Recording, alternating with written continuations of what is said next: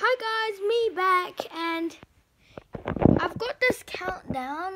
It's like my basically I built this and I have all the things. You've got 40 stuff and I've got the checklist.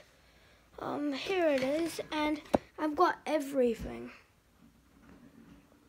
Because I do. And there's a lot of stuff, very realistic. This is an apple broccoli, like all those good stuff. And there's even like groceries, fridges, um, counters,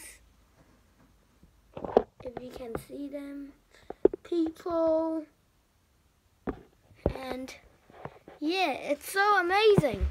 This is the front of the countdown, and this is this is like the the thing where you charge your electric cars from the solar panel because that gives it electricity. And it's amazing. It ended on sunday so it will never come back. I don't think it will but i think it will never come back.